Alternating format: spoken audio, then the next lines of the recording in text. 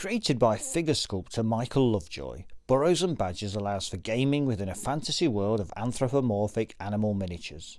Set within the kingdom of Northymbra, the rules cover skirmish level combat between small warbands. Each miniature in the game is a character, so there are no rank and file warriors.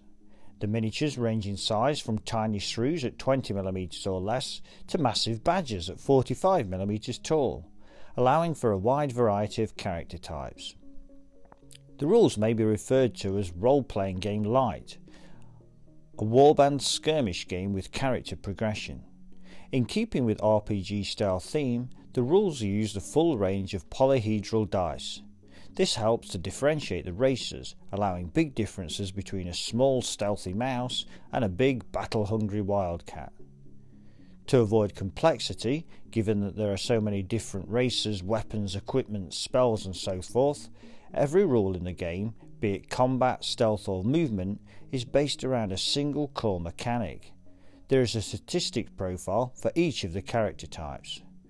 These statistics are movement, strike, block, ranged, nimbleness, concealment, awareness, fortitude, and presence.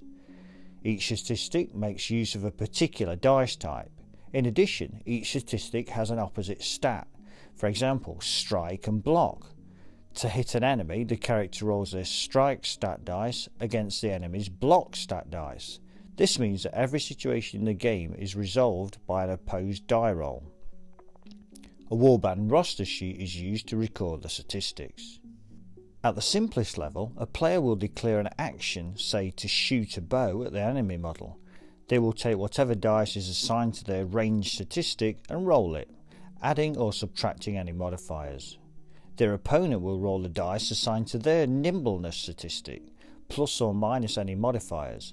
If the shooter's ranged roll is higher than the target's nimbleness roll, the shot has hit. Having each statistic paired with an opposed version means that there are more statistics than most games used.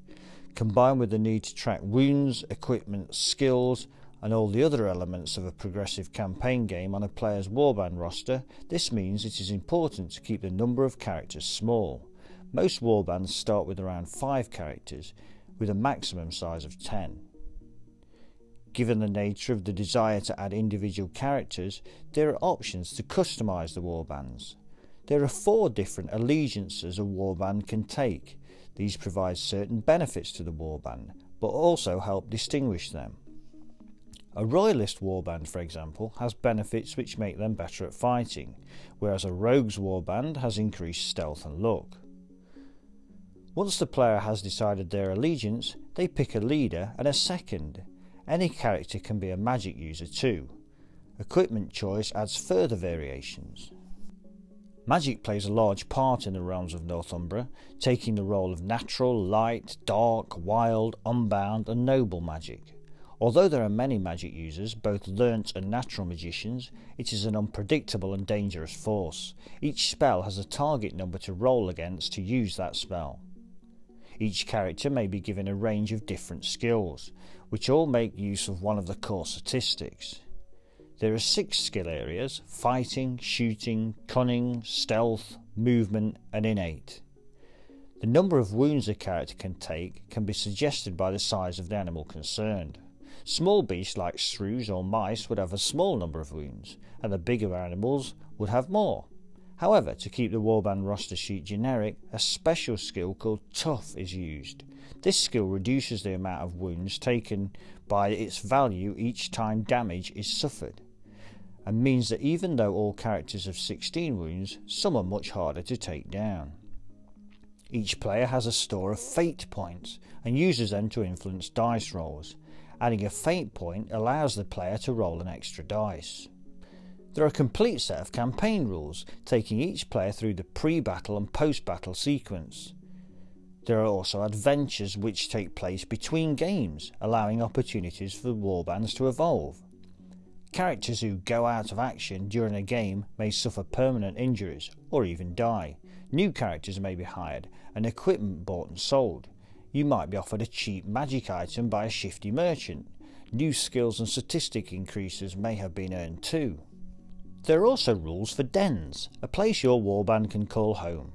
Between games, your heroes can labour to add new sections to their den, giving special in game benefits. Or they can wander Northymbra instead and maybe find something useful or get into trouble. There are eight scenarios in the book, and more will be added to the website. To enhance the longevity of each of the scenarios, players will find a secondary objectives chart, 18 additional elements that alter the way a scenario is played. Burrows and Badgers provides a narrative campaign based experience that most gamers should find enjoyable.